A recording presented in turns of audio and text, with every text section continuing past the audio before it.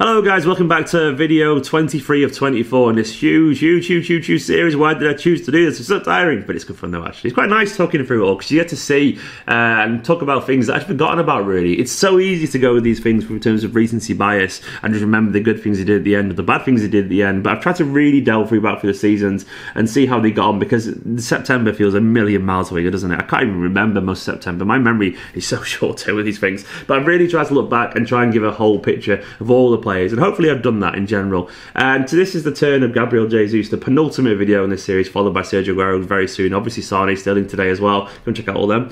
Uh, but this is Gabriel Jesus' turn, uh, which was. Um, it's tough to rate Gabriel Jesus. Uh, what I'm going to do is in this video, I think I might. No, I'm not going to give him a score already. I'll let you wait for the score. But essentially, um, I've already decided my score for Gabriel Jesus. But it's really hard to judge these players uh, based on the context of Manchester City Football Club. Because what would be a phenomenal season for a mid table team is only just a good season for Manchester City. So Gabriel Jesus' season, if he was at Newcastle or West Ham, he'd be brilliant. He'd be like, oh, he's their best player. He'd be so good, potentially. But here, he's just another guy who's had an alright season compared to Sterling, Bernardo, Aguero, all that lot. He gets to compete with their levels of excellency and brilliance. So it's very hard for him to do that. Having said that, this season, he was a good player. He was an alright player.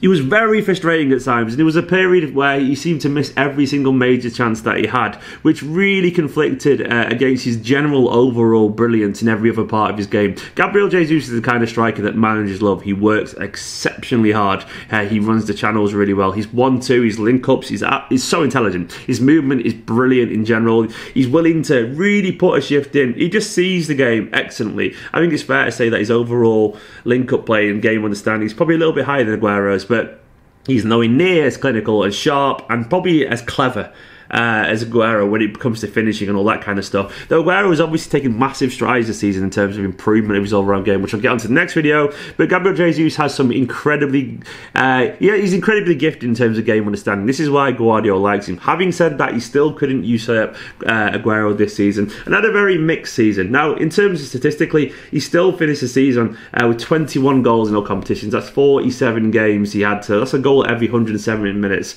So that's a pretty good record on service. 21 goals, 47 games. Now, you have to be honest though, seven of those did come in three back to back games. He scored four against Burton, one against Rotherham, two against Wolves.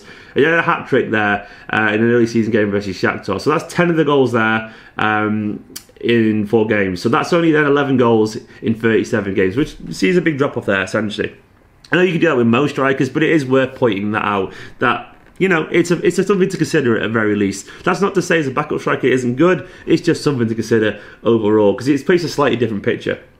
He also has this very weird tendency for offside that we've all seen that became very frustrating. We shouldn't get as frustrated as we do about it, admittedly, but it is frustrating watching a guy that you know is going to be offside four times be offside four or five times. There's definitely an argument to say that this is just a result of eagerness and because he doesn't play very often. And uh, Gabriel Jesus, more than most, strikes me as the kind of guy who needs a run of games to get his confidence up, to get his confidence in front of goal, so he doesn't snatch at chances. And there was some signs that when he was playing often, and it was mainly when Aguero was out a little bit around uh, November, December time, um, and when he played the cup games, he started to get his composure in front of goal. A couple of lovely finishes where he sat the keeper down and he showed how good he could be. Now, Obviously, his crowning moment was in the last game of the season against Watford, an absolutely fantastic performance. That was arguably, some would say, his best performance uh, in, a blue shirt Manchester City. Maybe, maybe not. I think he's had some fantastic games as well, but this one was fantastic. Uh, he ran the line so well against Watford. Some of his individual moments of brilliance in terms of skill. His finishing was really good. Uh, two goals and assists that day. He was just brilliant. You would never know Aguero wasn't in that team that day. It must be terrifying for the rest of the league uh, to see Aguero drop out and Gabriel Jesus, Brazil's number nine or whatever, come in and be that good. He's only 22 years old, Gabriel Jesus, as recently as April, if that's correct. Let me just double check that.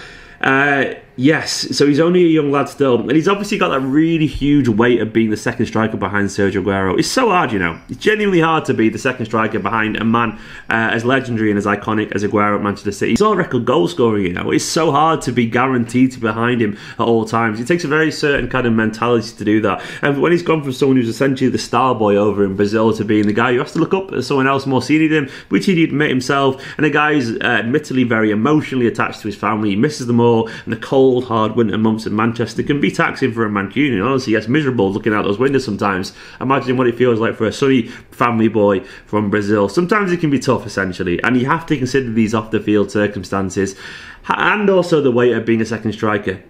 Quality strikers have struggled being the guy behind Aguero. Look at Edin Dzeko, the kind of guy who you put him as the first choice striker somewhere, he bags 30 plus goals a season. It's always very hard to be the second fiddle guy behind someone like Aguero. But uh, he's done a good job. I still think he's very close, and it could be next season where he has his breakthrough season, where he plays up front. His overall game will be brilliant, and he'll score 30 plus goals a season. He got 21 this year, despite uh, going through large patches of not scoring very regularly, missing loads of great chances, and he's still got 21 goals. If he's just like 30% more clinical, you know, okay, don't do the mask, because probably still not 30 goals if you had it all together. But either way, if he just gets a little bit more clinical, more confident, and some would say he's two years younger than Sterling. And does it not this not sound familiar from two years ago? It was indeed. If he gets more clinical, we're looking at a 30 plus goal season striker. Uh, and Aguero, as good as he has been, he's never been the guy to get 35 plus goals. And I feel like Gabriel Jesus could if he gets a little bit lucky. I'm not saying he'll be as good as him, but he could be more clinical in the way he moves because I think he's got exceptional movement, Gabriel Jesus. Overall, in terms of his score, I'm going to give him a 7 out of 10 because I said earlier, uh, by his standards, um, you'll be like, mm, but it's still a very good performance. He's a good squad player's performance. He was very useful in this team. He had some good performances, some bad performances, but overall, he contributed to this team. He didn't have a shock a season. He had a good season. Uh, and if this was a, a, mid-table club, they'd be saying he was their best player of the season. I genuinely believe that, and he'd be playing every single week and scoring more goals maybe. Uh, I really like Gabriel Jesus. He works really hard. He's very likable. He's just got some rough edges that we really need to iron out. And before we know it, he could go from a 7 to an 8.5 to having a 9.5 kind of season. He's got loads of potential, hopefully he'll be here next season. Anyway, guys, let me know if you agree with that. We've got one more video left, one more, and it's that man Sergio Kun Aguero coming up after this video. So make sure you hang around, make sure you subscribe, make sure you check out the other videos today, Sterling and Sane. Go check out the other 20 odd as well that I've done so far. It's nearly coming to an end uh, as the domestic season closes. Uh, make sure you like, subscribe, comment, and thank you to these guys as ever, and I'll see you for the next video very, very soon.